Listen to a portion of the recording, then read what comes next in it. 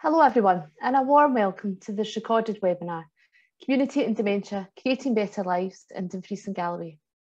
My name is Alan Crockett and I'm the Director of Evidence and Influencing for the Dementia Programme here at the Life Changes Trust.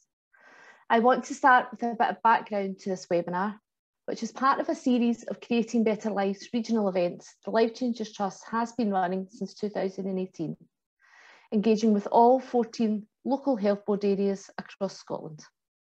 For all of our regional events, the Life Changes Trust works in partnership with local stakeholders, people living with dementia and the unpaid carers of people who have dementia, as well as others in the community who support individuals, families or projects. In this webinar, we'll be showing three films featuring local projects in Dumfries and Galloway, who share some of their work and how they have been coping during the pandemic to support people living with dementia and also unpaid carers. We'll be hearing from Claire Martin, who is a specialist occupational therapist with NHS Dumfries and Galloway, some of the local Alzheimer's Scotland team and the people they work with, as well as Michelle Bourne, who is an IDEAS specialist occupational therapist. IDEAS stands for Interventions for Dementia, Education, Assessment and Support. First though, we're going to talk about storytelling. Prior to all of our regional events, we offer storytelling sessions to people living with dementia, unpaid carers and those who work with and support them. These sessions are designed to find out what is most important to them and their communities and what their priorities are for creating better lives. These sessions work by using creative methods to support people to tell their own story. Storytelling is simply a gentle, practical way to do this. We'll shortly be hearing from Dan Serridge from the Village Storytelling Centre, who, along with his team, ran these sessions in Dumfries and Galloway. But first, we're going to find out more about how storytelling actually works. At the Trust's Creating Better Lives conference in Ayrshire and Arran way back in 2019, Sam Rowe from the Village Storytelling Centre explained.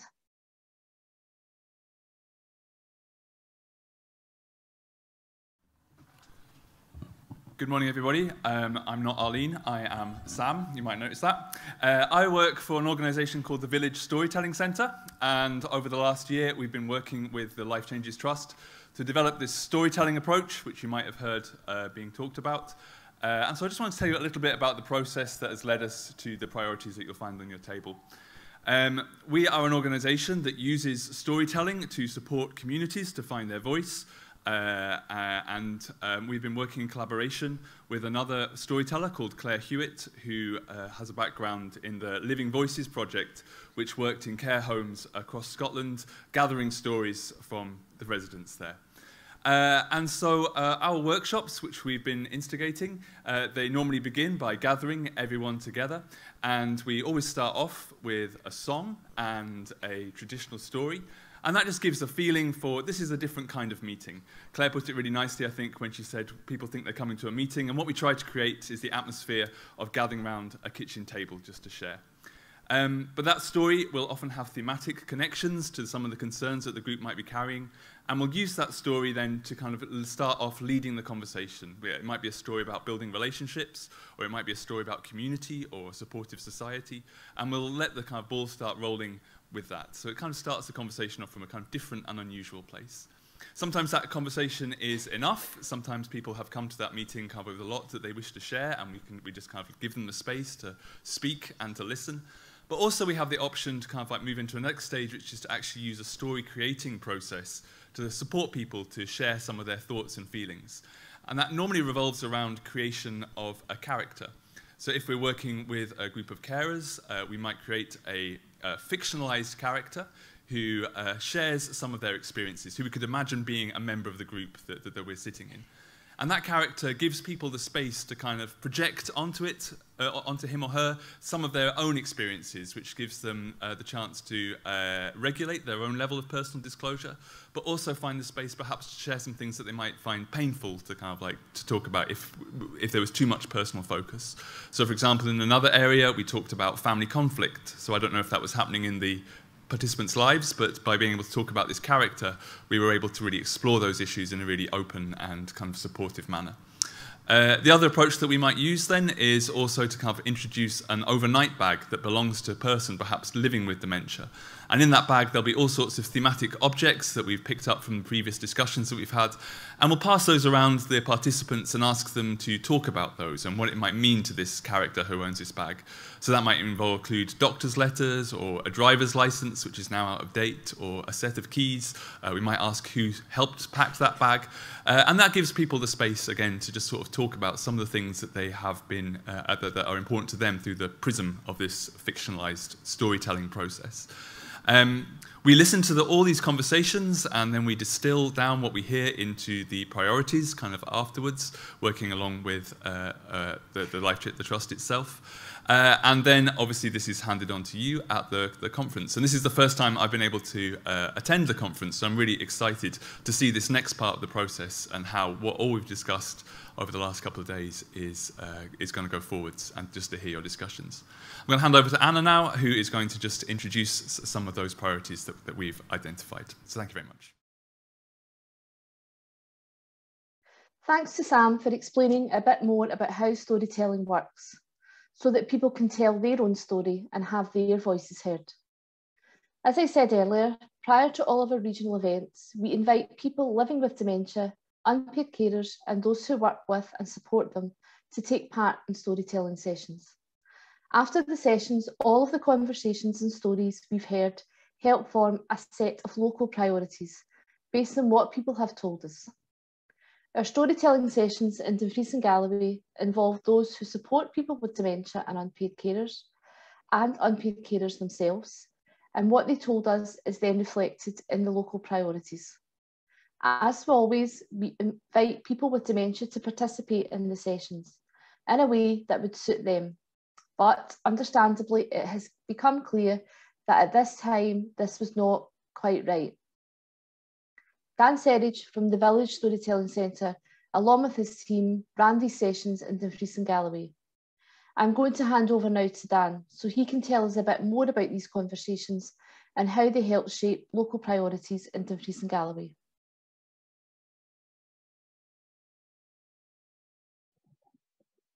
Hello, I'm Daniel Serridge from the Village Storytelling Centre, and we have been working alongside LCT for nearly three years now on this programme. In Dumfries and Galloway, uh, our job was to work with people who are unpaid carers, staff and volunteers who work with people with dementia, and an attempt was made to work with people with dementia um, numerous times, but um, as you may be aware, it proved very difficult. But there will be ongoing attempts on this process. Um, so, who are the village and who are we and what do we do? Uh, in very simple terms, we're concerned with stories and storytelling. We believe that there is power in everybody's story and everybody's story deserves to be heard. What we want to do is provide a platform, a plinth, a stage, or um, a place where we are able to listen, we're able to hear, and we're able to give it the space that it deserves and help people recognize that their experiences, their stories, and the act of telling them is artwork and deserves to be treated as such. So our process is about working with people to uncover those stories and to go into it in a way which feels safer. So we talk about a one step removed process, a, a place or a space where people feel they can contribute and offer their own experiences in a way that's both safe and supportive and, and slightly removed as well. I want to talk a little bit about how we do that and what came out of those sessions and how those stories that emerge are turned into something um, that's more deep and has more meaning going forward. We start with a story, we tell a story, a fictional story, a piece of folklore, if you will, because we are initially interested in metaphor and creating archetypes that people can really respond to. The power of telling story about a story about the forest, about a giant, about a group of animals, about whatever it happens to be, is it triggers people's connection. It triggers triggers people's associations to important characters and important features that they can recognize and make meaning from. For us, stories only become interesting when an audience or when a group of people place themselves into it. So, what begins to emerge is a conversation about why um, a giant may chop wood in the forest can change into what really matters for people with in dementia care in Dumfries and Galloway, for example, because we talk about giants perhaps as being figures of huge uh, fear and and scariness when in reality we're surrounded by them and they're often ignored or vilified or left out in the cold like a number of issues and experiences people can have in a caring setting after we explore these ideas after we tell a story and people begin to open up about their own work or about their own experiences we move on to look at care and we use that as a jumping off point to explore what care means in the area within which we're talking, in this case, Dumfries and Galloway, and within each, each and every area we've worked, a care list has been spoken, has been read out loud. And what I want to do now is just reveal the care list that we came up with in Dumfries and Galloway. These are Dumfries and Galloway. This is an amalgamation of all the different ideas and thoughts that people had in the area of what care is and how it's defined. So this is a definition, and it's this. Care is being there. It's not judgmental, it's accepting, it's consistent. It's a consistent love and attention. It's not not being prepared to get to know someone. It's not looking down your nose. It's not not wondering. It's not not looking. It's not using people. It's sometimes being totally lost. It's a world of uncertainty. It's relying on other professionals, being on the other side of a relationship. It's about concern, it's about compassion, it's about understanding, it's about connection. It's about connection in a relationship and it's about mutual benefits. It's about everyone experiencing care. It's about practical help. It's about something to do with trust. It's about trust. And for us, hearing that list and having a moment to define what care is, what we begin to understand is how much of a connection people have to that term, how rich and how raw people feel to that term, and how important it is for people to define. And I have found working on this program, it's an incredible pleasure and privilege to hear people's definition of care because everyone has a hugely deep understanding of what it is because they are doing it day in, day out. And the power of those words are evident in people's responses to it. It's evident in what they say and how they say it. And that came about through a story.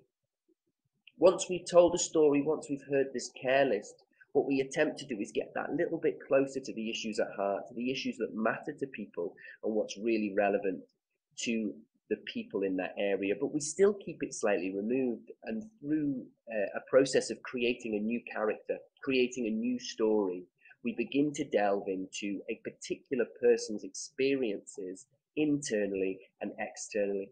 How do they feel? And what are the pressures that surround them that are supporting or not supporting the feelings that they're having?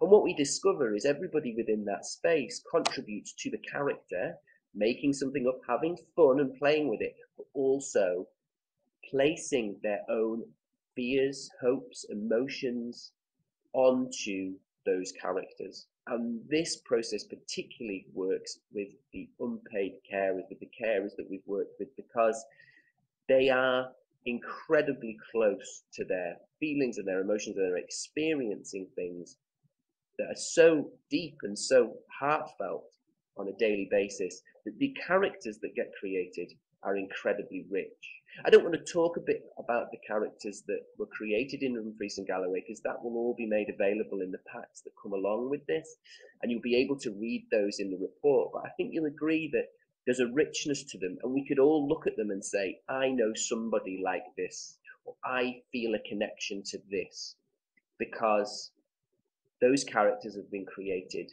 from the feelings of the people within the space. So you, you may be thinking, well, you've got a great story and you've got a, a character here, but what then happens to all the information that's collected? How do these voices and stories that get heard become something that's mm, used further forward, that's able to be developed and passed on and condensed into something clearer to understand? And that's where our priorities come in. A set of priorities have been created by Life Changes Trust out of the work that we have delivered and the stories that we've created. And I'd like to take a moment to read those to you now. So here are our priorities. I'm just going to read them out and let them speak for themselves. Each priority is accompanied by a quote from the people to help demonstrate and hopefully underline what we're getting at here. So priority one, peer support is crucial. Having relationships with other carers is so valuable and provides much needed connection with those who share similar experiences. Because of COVID and restrictions, there are a lot of limitations, but care is still what I'm looking for, and I think I will find someone whose story is like mine. They're ahead of me. I'm hoping that I learn from their story how to live my life as a carer and to be as good as I can be. Just having that person who's just at the same level, it's actually quite comforting and it makes me feel better. Priority two. There's a real need to improve access to support and to listen to those affected by dementia, those living with it, unpaid carers and families. We need to make sure that people are accessing the things they need at the time they need them. People need respite now. They don't need to wait six to eight weeks. We need better access, more choices to be able to access services in a variety of ways so that people can choose what suits them, makes them feel better. Priority three. Communities and the support activities they provide are a vital element in how services should be delivered. Due to the pandemic, there's been a breakdown in connecting to community projects. It's crucial that these relationships begin again. Some of the previous ways people were coming to us as a service would be through community activities, and all of these have stopped. That would have been a way in to begin to get support with us before crisis. Community groups and activities allowed for a slow build of relationships with services, but because of the pandemic, this hasn't been possible. And priority four, care services are exhausted. There's too much work, not enough staff, and not enough information on access to services. Services do their best to continue to provide support however they can, even digital engagement has been difficult. People's physical health has been hugely impacted through lockdown, and people's cognitive functioning is worsening more than it was pre-COVID. The need for care packages is higher and more complex, and we don't have enough care staff. Nothing's changed really. It's always been difficult for people to access services. For years and years, we talked about a one-stop shop there's been a big focus on connecting people digitally, but it's not been easy to deliver in Dumfries and Galloway. You see other areas with better engagement and as a result, better opportunities. And so it's been really hard. So as you can see, there's a lot of vital and important information coming out of those priorities. It became clear in Dumfries and Galloway just how much feeling and how much care there was in people's responses, how much perhaps frustration there was too. And I think some of those priorities go to help to describe what people have experienced. I said at the beginning, and I say at the beginning of all these presentations and all the sessions that we do, how much of a privilege it is to deliver this work, how lucky we are to hear these stories and provide an ear for them. But for us, it's an opportunity to celebrate the stories that have been told and to um, let people know that they have a space and they have a place to tell them. We feel that the, the stories that have been shared in Dumfries and Galloway really do reflect a broad picture of people's feelings and responses to the care that they're giving and being given in the area. And what became clear from the work that I did was just how much of a connection people had to the communities of that area and how close those communities felt. And I wanted to end on just a little quote that I feel feels per, pertinent to, to the work that we've done and to the messages we're trying to put across and to gather. Um, and it's this communities hold stories, they keep each other's secrets. They know each other well enough to accept them, warts and all.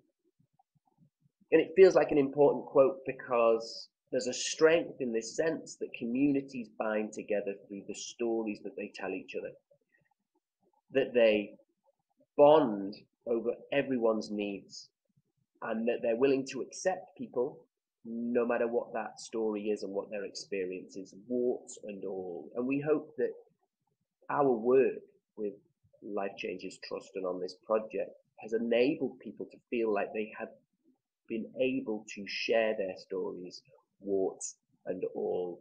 And we hope that these priorities and the work that we've done helps and supports the future of dementia care in Dumfries and Galloway.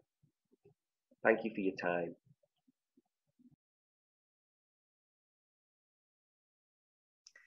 Many thanks to Dan.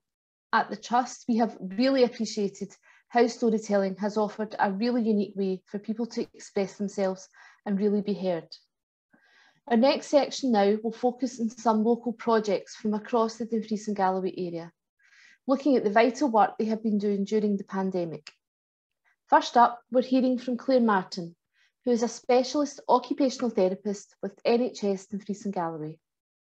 One of the things that Claire specialises in is memory strategies for people who are struggling and need extra support.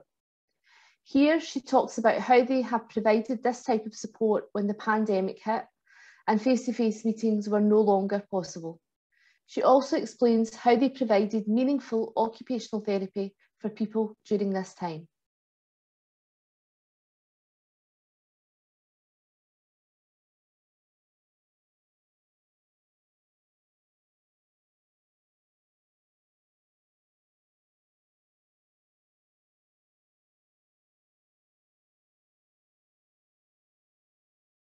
At the start of the pandemic, we started to think about how we were going to continue our work. We had been used to seeing people in person, sometimes at home, sometimes in different clinics, and we had to think about how we would cope with not being able to see as many people face to face. The team had a look at things such as telephone appointments and we started to use those to speak to people experiencing memory problems and their loved ones. And we also were using what they call NHS Near Me, which is a video conferencing package that lets you have secure conversations with people. And as time went on, we became quite used to how everything worked together and were quite pleased at how things were developing. So it was a combination of sending out written information, speaking to people on the phone, doing some home visits and seeing some people face to face when that was required, but making a lot more use of telephone and video appointments. And I think over this time we've we've learned about how useful sometimes that is. That sometimes people prefer just to speak to us by phone rather than travelling a distance um, to see us somewhere. And we're now making the best use of those different types of appointments and you know thinking about what suits the people that we're talking to best a lot of what we deliver is around what's called the home-based memory rehabilitation strategies which is a big title for different approaches to learning new ways to do things that make remembering easier and we're finding that people are finding it helpful to have these conversations with us. That's the feedback we're getting from people that they're quite enjoying some of the video calls because they get to see a face rather than not just hear a voice. And I think people are appreciating that when we do go and see them, that you know we're getting a, a flavour of how things are in their, their home environment as well. So I think we've we've improved our service perhaps you know through what happened with the pandemic and we're now able to look at tailoring it to what that person needs and what their their loved ones needs to help them. Um, now, some of the people we see, they might be diagnosed with things like mild cognitive impairment or different types of dementia.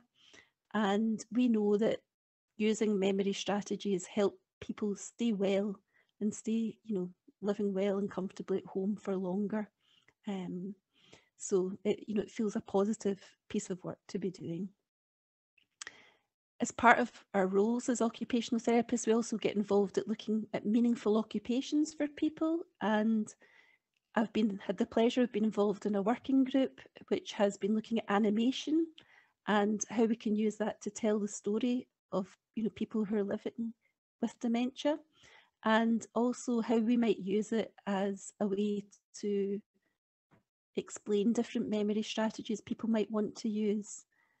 And one of the gentlemen on our working group is called Danny, and he has given a podcast about his life story.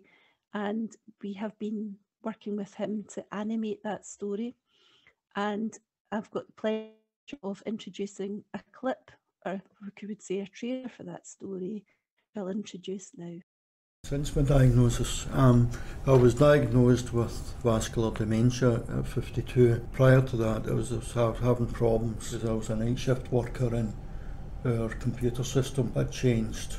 And one of my colleagues spent most of the night going through the new computer system with me. And by the morning, I, I couldn't remember each stage. I went to see a doctor and did the memory tests mm-hmm. and had the CT scan and whatnot, but we're told it was vascular dementia. And initially, you feel like your world's come to an end. Um, you don't know where you're going to go next. You don't know what life holds for you.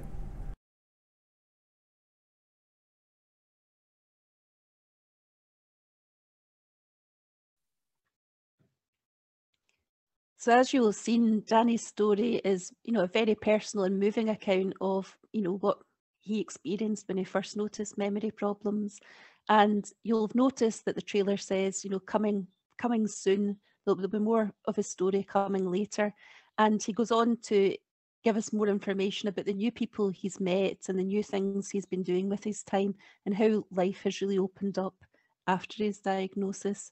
So it's quite a positive story and all the more powerful for the fact that, you know, it's someone's own experience going forward, I think we're feeling quite positive about the future here in Dumfries and Galloway and making best use of the technology and the, the new developments that we've had to, to work with during the pandemic um, to keep you know, delivering a service and support um, to people struggling with memory problems.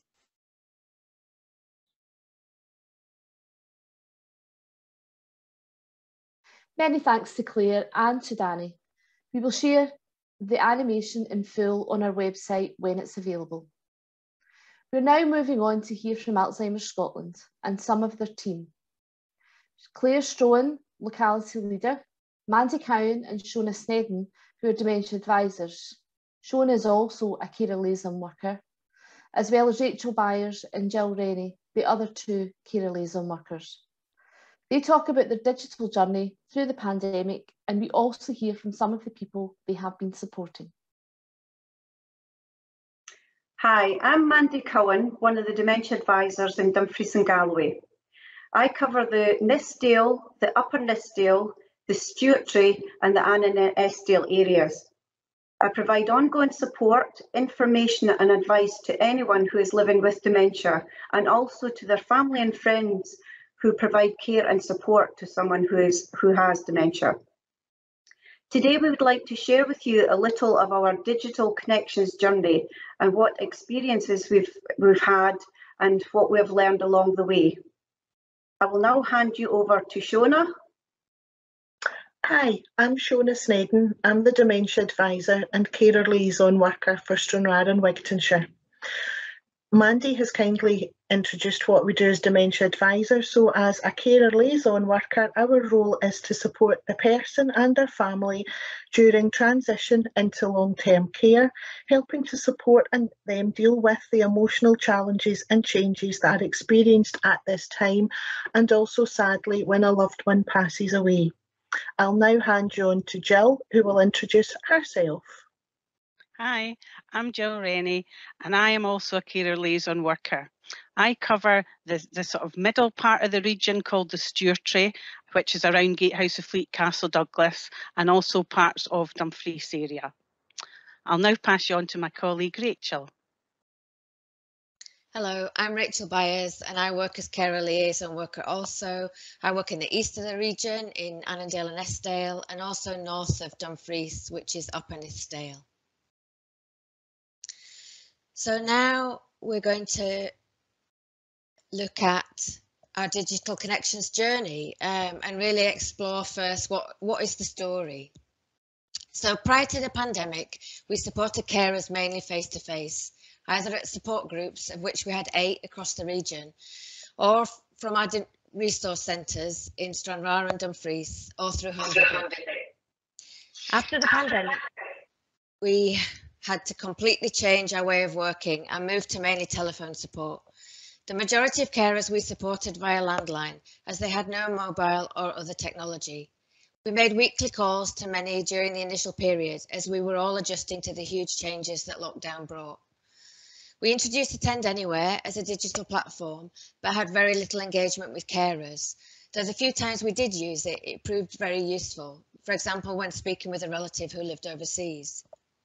As a team, we then began to use Microsoft Teams, which quickly became the preferred medium. We began to have one-to-one -one video calls with carers, and this helped by the provision. This was helped by the provision of nine iPads um, for carers from the Connecting Scotland initiative. It was at this stage we began planning our first digital group, a care home relative support group. The majority of carers preferred to continue with telephone support, but some were keen to give the digital group a try. We offered one-to-one -one sessions initially to those wishing to join until they felt confident using Microsoft Teams before they all joined their first group session together. Initially, we ran the group as a pilot of three sessions, which was held monthly and lasted for about an hour and a half. Since then, as restrictions have eased further, We've also just restarted face-to-face -face care support groups, which we will also touch on. We will now go on to Jill, who will describe what was the learning. Hi. So really, we decided that we would split what the learning was into kind of two sections. So first of all, I'd like to talk about the challenges. So initially, the challenges were encouraging the, the family carers to actually engage in the digital, in digital groups. They may not have had up-to-date equipment, which wasn't compatible with recent updated technology. So some of them had sort of laptops that were rather old and wouldn't connect. So we had to give them a lot of support to, to enable them to connect to this. They, they, have, they may have low self-esteem. They may have been lacking in confidence are, are kind of frightened of using the technology. So they did require a lot of encouragement and support from the dementia advisors and carer liaisons. It did help when we had a good working relationship with them. Engaging with the technology also may not be high on their priority list, so they have a lot of things going on in their life. So again, we had to give them a lot of encouragement and support. Although our, our rural area that we live in is very beautiful, it does have its problems. We have poor infrastructure and there's low investment compared to other areas in Scotland. Dumfries and Galloway can, has poor connectivity, Wi-Fi is temperamental, broadband can be slow, and our phone signals can be quite patchy. So these are some of the challenges we faced. Ongoing IT support was needed for, for the families and also for ourselves as staff. At the start of the pandemic, we did a survey showing that engaging in digital options was not the preference of family carers. I'd like to move on now to the positives and hand over to Mandy. Thanks, Jill. So now looking at some of the positives that have come out of the pandemic and the benefits of using online services. As we established our new online services, some of the family members um, provided us with some really good feedback, many of whom were quite keen to engage with the new way of working online. It enabled some of the carers to begin to develop brand new IT skills, and for others, they had the opportunity to refresh some of those existing skills. Carers from one of our groups, some of the carers from the groups have helped us with other develops, uh, developments. For example, taking part in a webinar and providing useful feedback from which we could learn and embed in other sessions. Being able to link with carers from across the region was also very beneficial and it enabled them to meet people that they might not have had the opportunity to meet before. Staff also from across the region had the opportunity to work together on a more regular basis. Carers told us that being able to attend the digital meetings meant it had less impact on their day, meaning that the family member, the, the family carer, spent less time away from the person who they were supporting, and there wasn't the same need for respite. Another bonus was there was no need for travelling as the meetings were all held in the comfort of the person's own home. Some of the other benefits from using technologies were included included a lot more use of text between carers and staff, which has reduced the waiting time for support as you don't miss each other's calls. There was also much more use of emails, which provided carers a time to prepare their questions and they prepared the, these quite often at a time that was more suitable to them, more convenient and away from their caring responsibilities. Being online has also overcome the geographics and it has meant that one call can include several members of the family at once on an online meeting.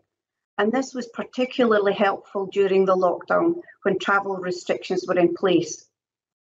So from here, let's move on to our on online group support. Handing over to Shona. This wonderful photograph is a photograph of one of our care home relatives online support group, um, which has been regularly by four um, carers. And the following slides show clips from the first one is of Andy.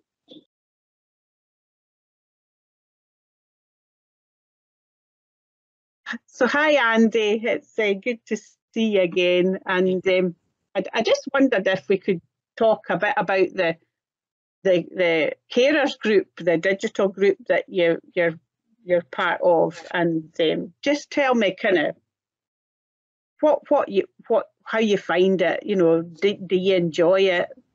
Just tell me about your thoughts. Yeah. I, I, I thought it was great. I mean, uh, I, I, I think uh, you know, you're looking at people that are very much in the same situation as yourself, and they, uh, uh, I suppose it's like a lot of other things. You, you've got to be in a a, a, a situation to, to form a, a, you know a real understanding of, because the stage that we're all at now. I mean, we've we've gradually been learning this since we see where where, where loved ones uh, gradually moving into the illness, you know, dementia, a uh, Alzheimer's, whatever it is, and we're seeing them gradually moving into it, you know, and, and we, we develop an understanding of it, and uh, and and you can see it in the people that you're talking to.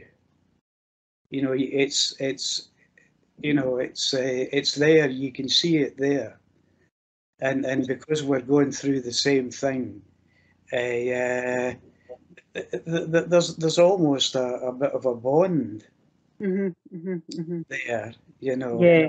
So so I think that they. Uh, it is it is great for the for the people that they uh, first of all uh, they allow themselves to you know, to, to go into that, that situation. And uh, it, it can almost be a bit, oh, how, how can you say? It's uh, relaxing, I suppose you can say, when, when you actually move into it, you know, because uh, nobody's going to be pressurising anybody. Uh, and uh, I, th I think I think it's it's it's well worth the time, you know. Yeah. I really do. Yeah. hmm Yeah. And how did you find the kind of trying to connect digitally? Uh, I think uh, there's there's there's things about uh, uh, connecting digitally and and actually being there with somebody. I mean, I I, I think the, the the digital link up. I think it's incredible. Whether the whether the picture's no hundred percent, uh, whether what you're getting a bit of interference or whatever, it's it's it's still brilliant. It's still amazing. I mean, a few years ago, you you would never have thought it was possible. So so it's it's a it's it's a an, an amazing advance, you know, and a uh, and and and I've no doubt it'll it'll probably get better as it goes on, but but it, I would think I would think a uh, that if there's a group of people sitting in a room and they, uh, uh, as I've just said, they, they they've they've got this experience uh, of, of dementia. Uh, we're we're all in the same boat. That that we've got this bond. Uh, and and if we're all sitting in a room, then I, I, I would probably give that 10 out of 10 where the, the the digital thing I, I might just say 9 out of 10 you know because because the digital's maybe liable to just go blank at any minute but whereas when we're all sitting in a room you're you're there and and that's you know Yeah, yeah, yeah. Ha- Had you done a, a bit of uh, connecting over the internet before with family, or or was this a new experience? Aye, it's incredible. My daughter lives uh, an hour away from here at, at Stonehouse, and they, uh, well, they keep saying they're needing a new laptop, uh, but but some some days I go on the Skype, and they, the the reput the reception's just no good. It's pretty Yeah. poor, but yet I can talk to my son. He's 60 odd miles north of Los Angeles.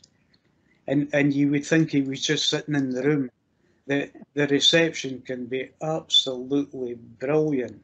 Yeah, Uh, and but I suppose, you know, I suppose uh, this is where technology, as amazing as it is, it's uh, it's maybe not just just perfect yet. Like you know, yeah, Yeah. a Uh, long way to go. Eh?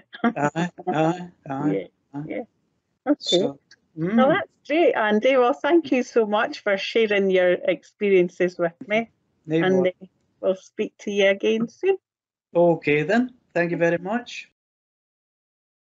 And then finally, on Tuesday, the 29th of June, 15 months since we had last had the opportunity to meet face to face, we had our first carer support group meeting at our Stranraer Dementia Resource Centre. Because of current restrictions, we were unfortunately unable to meet as a whole group, but instead met as two smaller groups. It was lovely to see familiar faces again, but I will leave the last words to David and Jessie, who I feel sum up beautifully how it felt to be back seeing each other again and what it means to them to be back at our carer support group. Okay, so David, welcome to our first carer support group. Would you like to tell us how it feels to be back? Well, after being isolated for almost 18 months. It's wonderful to meet people again. It's, it's a lot of people say going out and about, but you miss the company, especially once you get older and that. And it's uh, my daughter and son-in-law had to go back to work for the vaccinations and that. And it's a long, long day when you're sitting in the house on your own. And for to get out and about now and meet Jessie and Shona and that, it's absolutely wonderful. Thank you very much. Thank you. So Jessie, same question to yourself. How does it feel to be back at the carer support group? Well, this is the first time that I've been back since COVID where we had to isolate a year past March. And uh, I haven't been out above three times since then. There's a lady from Age Concern rings me once a week. She lives in London and I look very forward to speaking to her. And also Shona rings me up and lets me know what's happening out there. Today we've had this meeting and just the mere fact that I took a longer time to get washed and dressed and a bit of makeup on, I felt like a different person. And I've really enjoyed this break here today and I hope that it'll continue and get more and more people each week because it's missed.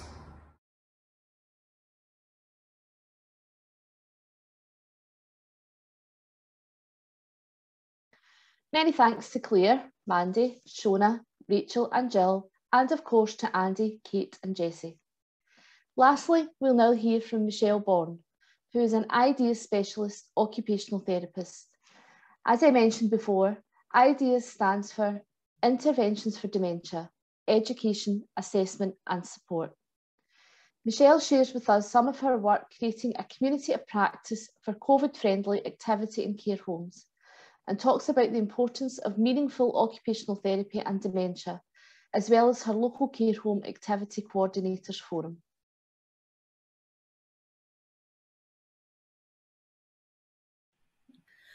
Hello, my name's Michelle Bourne. I'm an occupational therapist working in mental health for over 15 years within older adults and individuals with a diagnosis of dementia. Recently in April, I moved into the IDEAS team, which is interventions for dementia, education, assessment and support. Um, as part of that role, one of the big things that we look at is helping to reduce stress and distress behaviours with people with a diagnosis of dementia in care homes. An important factor of that um, especially within my role, is looking at meaningful activities that can help to support individuals with a dementia. Um, so we know that obviously people with dementia lose a lot of their abilities that they've had in life. So it's really important that they have meaningful activities that they can connect with, that can help them to exercise their brain, help with stimulation, help with social contact, and help with quality of life. We know that individuals with dementia who have access to activities that are important to them helps to reduce the stress and distress behaviours that they might otherwise experience if they were bored or they had nothing to do or they didn't feel a connection with anything. One of the difficulties um, recently, obviously, with COVID is the lack of social support. So, again, the importance of having meaningful occupation and being over having other uh, ways to access social supports has been really important. So, as part of my role as the occupational therapist within the IDEAS team, one of the things that I've tried to um, establish is a forum for all the activities coordinators within the care homes. The activities coordinators play a vital role in looking at activities and supports that can help individuals engage in things that they would like. and I think that's been especially difficult, obviously, because of a lot of the restrictions that have been put in place and the restrictions during COVID of having visitors or guest speakers or people coming in. So one of the things that I was really keen to do was help to re-establish and create a forum for the activities coordinators, which we did via Teams. so all of the care homes in Dumfries and Galloway were invited to join us um, via Teams and really just look at them being able to discuss any concerns that they've had, um, peer support for them, and sharing best practice. Um, we have had a good um, number of members attending that have felt it's really useful. It also gives them the ability to problem solve some of the difficulties that they've had in terms of having to do a lot more one-on-one -on -one activities. Another part of the network for myself has been helping to support them looking at COVID friendly activities and using virtual networks to allow support to do that. Um, I know that one of the care homes that they won't mind me mentioning had a brilliant initiative and they did they do themes every month for different countries um, they use virtual forums with individuals in their room to two the different countries, have themed menus, um, the, the staff dressed up, and the activities coordinator gave all the individuals in passports, which they stamp every month when they're going round um, to each individual. Um, we have obviously now we're starting to see things relax, which is better. Um, I think during the most difficult time of COVID, one of the other things was helping people to stay connected with their families, which again, with people with dementia who have difficulty with recall, it's really important that we help to maintain those links. So using digital technology to be able to contact family was obviously another vital part of their role to help people stay connected. As things are now starting to relax, we're pleased to hear that visitors can now obviously go in obviously with the obviously with the protections to keep everybody safe um, the care homes are really keen to share, the activities coordinators are really keen to share the different ideas and activities that they've been using within the forum. And I am keen that we establish meeting on a monthly basis. Um, they've had really positive feedback from residents and family about the activities and the interventions and the fact that they have helped to improve quality of life for individuals with dementia during this difficult time, giving them something meaningful and purposeful for them individually and now socially distanced, moving back into groups so they can have a bit more social um, interaction.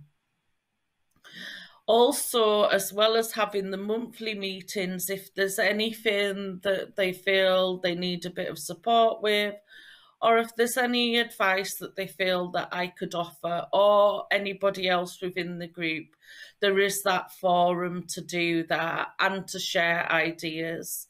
I know that I can help to coordinate that. So one of the activities coordinators had sent a calendar of events of the year, which can be good in terms of helping to decide what to do on an activity that day. So it gives you a theme for doing things. So they were able to send that to me and I can distribute it.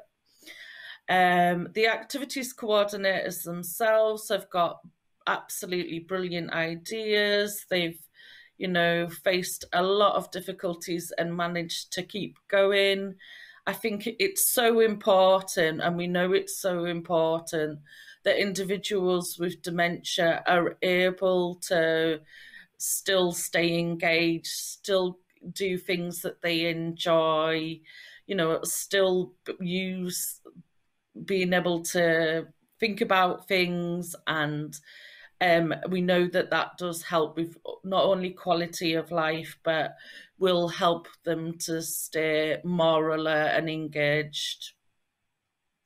So moving forward it's continuing to keep up the, the links via teams which we've been doing virtually. Hopefully the idea is that when things begin to relax more we might be able to be me um, in person as well um, probably within localities um, i suppose the benefits of having the teams meetings though means that all um, activity homes across the network of the area of Dumfries and Galloway have had the opportunity to all meet, which sometimes can be quite difficult with the geographics of the area. So I'm just really keen moving forward to help support them in any way I can, to highlight the good practice. Um, one of the other things that we agreed was that we would showcase some of the work that the care homes are doing on our Ideas Facebook page to share the really good practice and to help promote the great work that they're doing. So moving forward, that's what we're going to continue to do. Um, and just any any difficulties that they're having, any support, that they need, um, looking at any kind of funding um, possibilities that are available, and really the benefits of the individual, and just acknowledging the hard work that they have put into supporting all these individuals with dementia and the benefits that that that has demonstrated. So one of the other things that we've been looking at um, to help promote the great work that the activity coordinators that have been doing within the care homes is for them to have an opportunity to showcase their good work and excellent practice on our Facebook page. Um, so I would really encourage you to come have a look at our ideas Facebook page and see for yourself.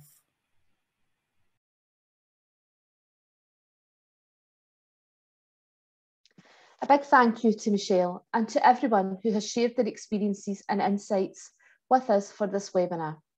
We are very grateful for all of the work you're doing and for taking the time to share this with us. This now brings us to the end of this recorded webinar.